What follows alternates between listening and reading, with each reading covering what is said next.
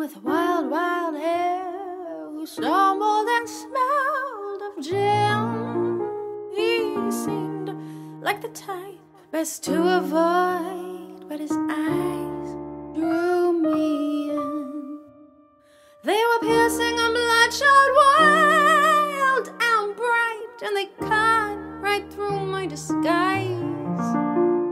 And as I turned to leave, avoiding his gaze, he stopped me and said, to my great surprise, If you must sing and sing, you must then be sure to sing with your heart,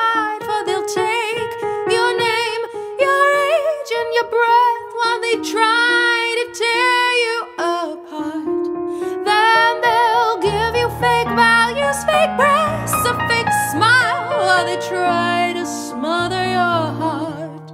But you can't let them get to your heart.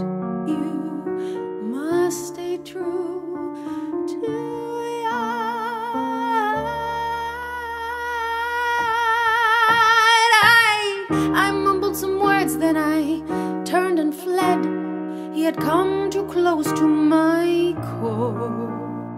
He had hit on a truth I was not ready to see, for I did not know what I was singing for. But as I ran away, I took a deep breath, then stopped and faced my denial.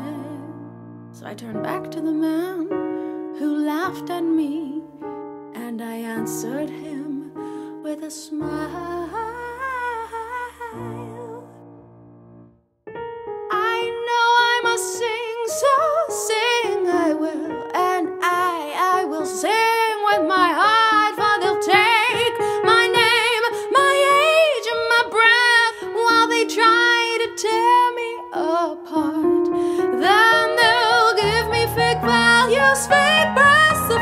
Smile while they try to smother my heart.